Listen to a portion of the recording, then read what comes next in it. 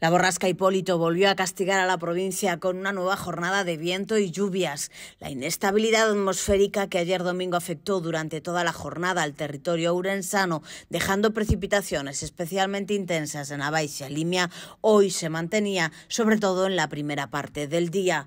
En la estación de Entrimo, por ejemplo, se recogieron más de 40 litros por metro cuadrado a lo largo del día de ayer, según los datos de Meteo Galicia.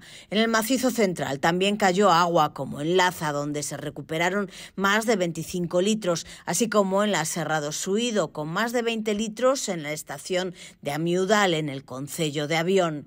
En la jornada de hoy, la provincia permanece bajo la influencia de las bajas presiones al oeste de Galicia. Los cielos seguían nublados con precipitaciones, especialmente por la mañana, y conforme avanzaba el día, descendía la posibilidad de lluvias.